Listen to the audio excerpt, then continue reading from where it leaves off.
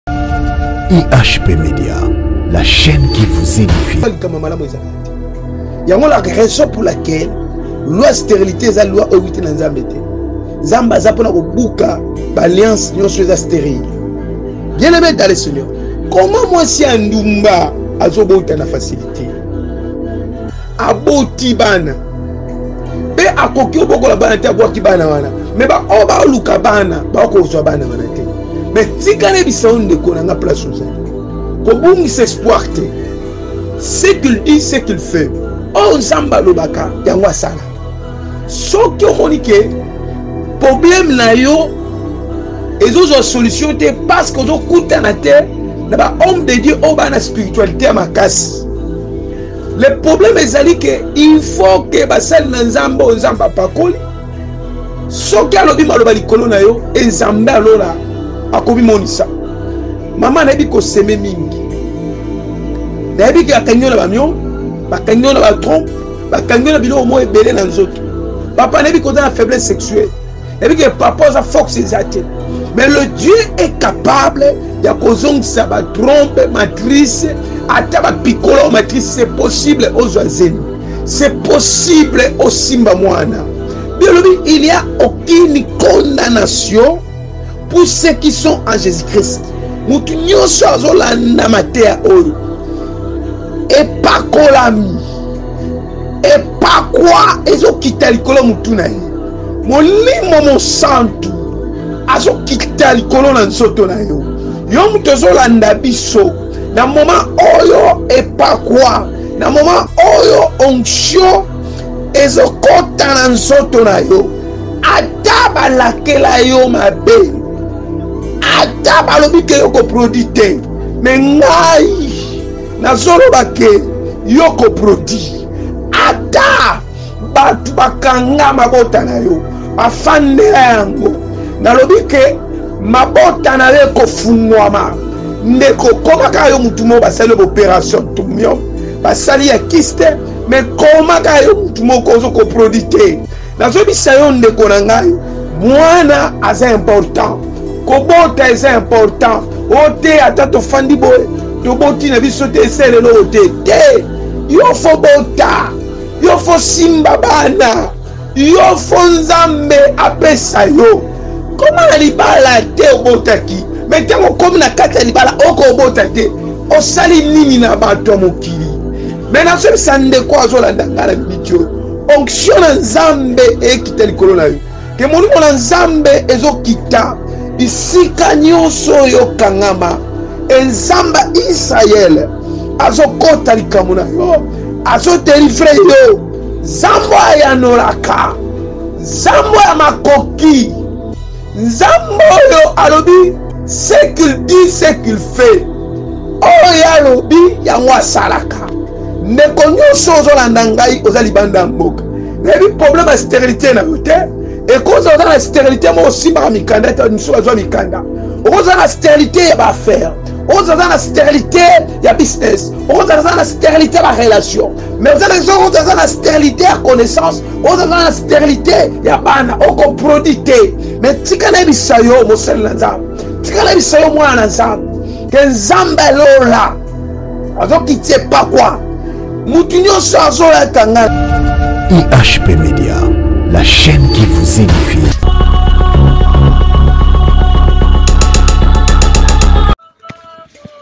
Bien aimé dans le Seigneur, napesi mbote na bandeko nyonso bazolanda nga na poto parti na monde entier c'est le prophète Israël Mbambu oyo azokamba église pentecôtiste prophétique la parole puissante ezali na Masina sans fil,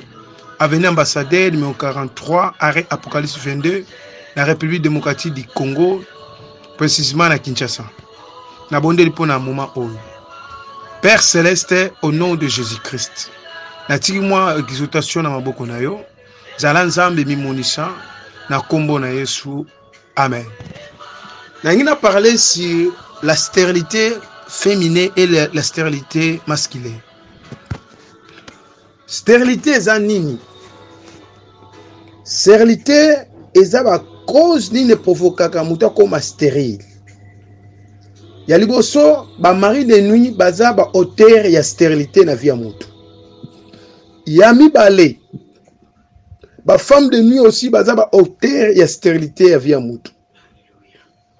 okomona vie ya ndeko wana mwasi atambolaka mabe asopa bazemi asopa sopa bazemi mais lelo akomi sterile ndeko mwasi akopose question comment sterilité eteindre ngai Mon stérilité, c'est-à-dire, eza mutu oyo azoproduit te nde omoni mutu wana aza comme stérile stérilité masculin eza na mibali oyo oyo baza stérile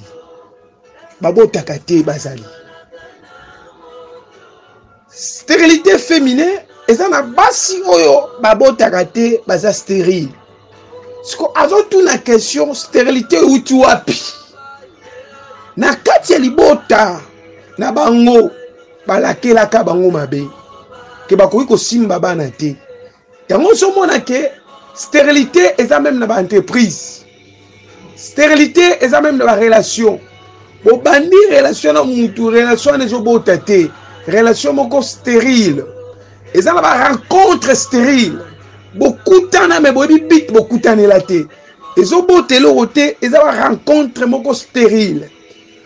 tozomona sterilité na kati ya business moto asalaka commerce ekolaka te eza moko ya sterilité soki totangi na bible 2 roi chapitre 4 le verset 8 baparle femme sinamite eloko ya liboso elongolaka sterilité d'abord na vie ya mutu ezali faux okutana na sacrificateur sacrificateur eza lokola nganga nzambe bakobengama pasteur apôtre prophète évangéliste et docteur mais oyo nzambe amanda te oyo nzambe aponi la raison pour laquelle ntango elize akutani na mwana mwasi oyo mwana mwasi oyo akonsideraki ke elize azali serviteur de dieu ya solo asolo na mobali na ye tosala eloko moko mpo na ye ntango basala eloko moko mpo na ye ndeko na ngai elize alobi tokosala motu eloko nini na bolamu asaleli biso geazi alobi nakaki mpo namoni mobali nakomi mokolo me babotaka te banda toya tomoni mwana te elize ayebisi ye yaka abi mwasi epoko ezoya l'année prochaine tiambasera un fils mwasi alobi kokosa ngai te homme de dieu to maloba oyo elize alobaki esalamaki kaka ndenge oyo aprononsaki nzambe aza na nsima ya maloba ya serviteur na ye mpo accomplir yango ndeko tika nayebisa yo eloko moko bato ebele bazocomprendre te bosali na nzambe naza na libala ya malamu mobali na ngai aza bien toke hopital mobali na ngai atali sante batali sante na ngai bamoni ke naza mwasi oyo nakobota naza mwasi oyo nako produire mais tosali baopération toleki na bamakambo ebele mais nazo produire te mosali na nzambe nini oyo nakoki kosala mpo lelo na produire bielema etika na biso eloko moko production moto asalaka yango eza nzambe nzambe moto asalaka ke oproduire lelo ozo remarke ke eza na basi ebele azobota te eza ye te ya un esprit oyo elingi te ye azala feconde yango ndeko ozolanda ngai na miniti oyo tika nayebisa yo boye sterilité elongwaka eza comme malade comme bamaladi nyonso mesilaka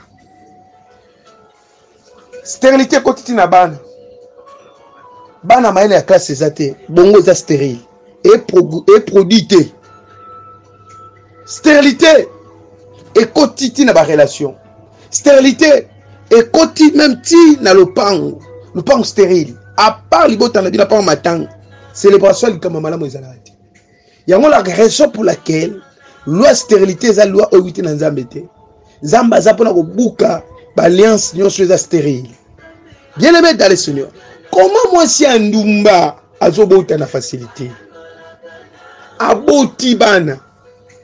mpe akoki obokola bana te abwaki bana wana me baoyo baoluka bana baokozwa bana wana te me tika na ebisa yo ndeko na nga place ozali kobungisa espoir te ce qu'il dit ce qu'il fait oyo oh, nzambe alobaka yango asala soki omoni ke problème na yo ezozwa solution te parce que ozokutana te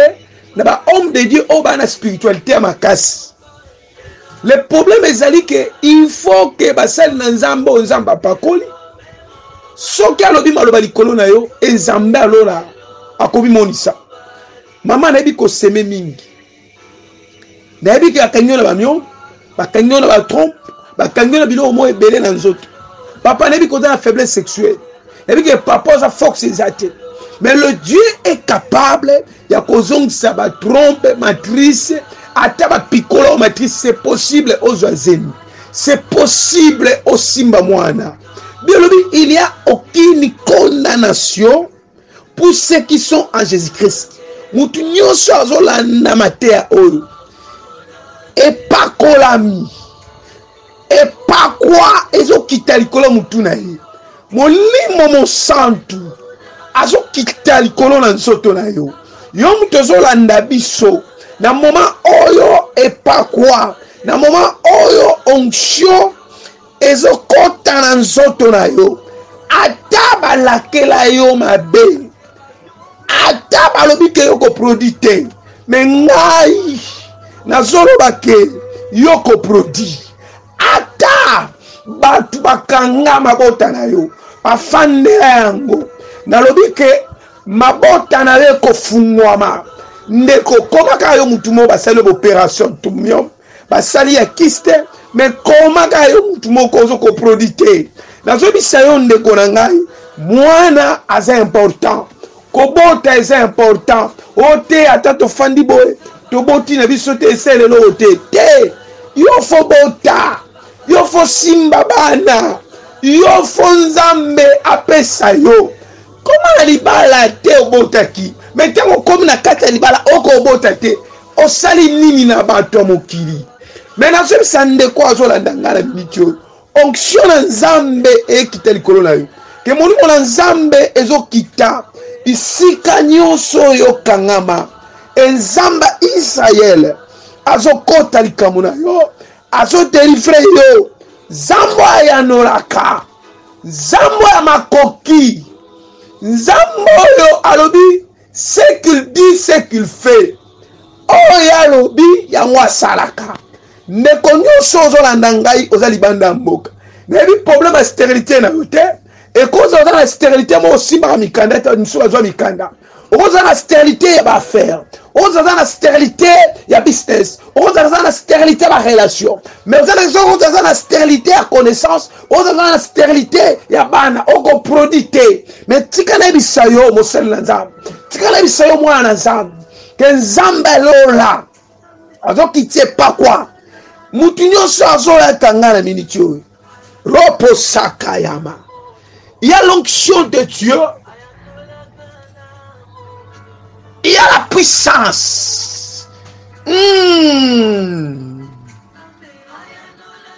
Hey!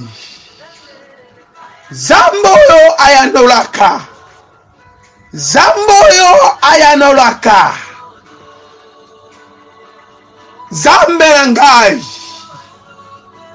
nayebi probleme ndeko aza nango te ya koza aza maladi akozala mpo na cancer akozala mpo na sidatique akozala mpo na diabete akozala problème moko ya mwana atungisaka ye akozala mpo na mobali akozala mpo na mikanda zamba israele yo oza capable ya kopesa solution zambe akutana na yo hey! akutana na mobali na yo hey! nzambe akuta na business na yo mama nayebi kozwi deception makasi opesi batime opesi bofrande opesi mbongo me eloko moko babwakela yo solo elongwako te me nzambe israela le dieu de la bible est là tika molimo na nzambe akota likambo na yo maintenant je prie père motu nyonso azolanda ngai nayebi eta adamu na ye te nayebi origine na ye te me yo oyebi ye koleka ngai nzambe na israel yo olobi venez à moi vous tous qui êtes fatigués chargés je vous donnerai du repos obi car je connais le projet j'ai formé sur toi non des projets de malheur et des projets de bonheur je prie au nom puissant de jésus christ de nazareth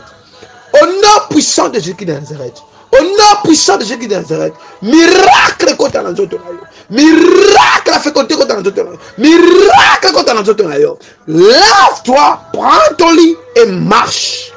Nayebi dire ya maladi na yo te. Mais nayebi dire ya problème na yo te. Mais nayebi kombo ya Yesu.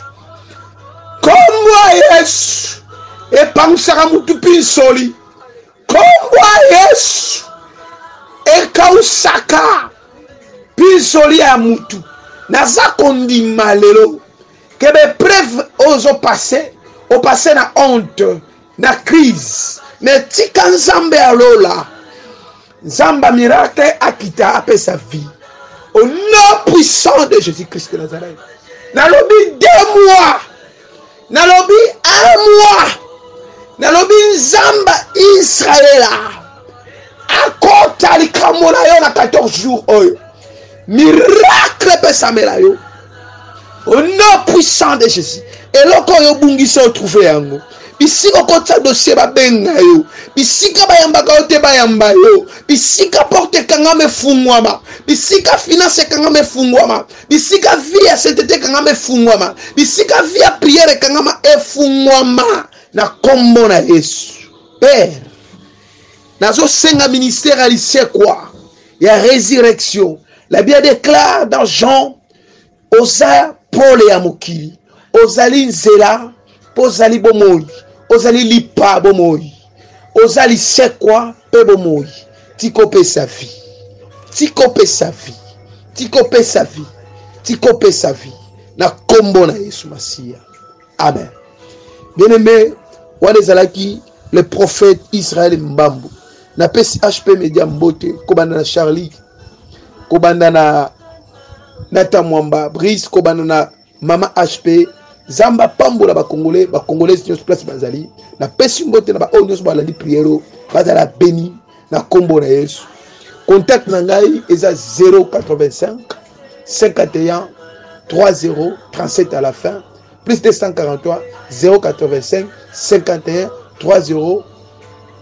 37 à la fin le prophète israel mbam ndeko na nga place ozali tolanse appel na motu nyonso oyo azali mwana na nzambe azali na problème amonake solution epesameli na mwa ya mai na mwa ya juin eza deux mois napesi bino otemoine nzambe natie nzambe na nga en epreuve na problème ya motu nyonso aza nango napesi yo de mois compte mois ya mai ti mois juin un mois et demi deux mois accomplisse miracle epesamela yo au nom de jésus christ amen merci ihp media la chaîne qui vous édifie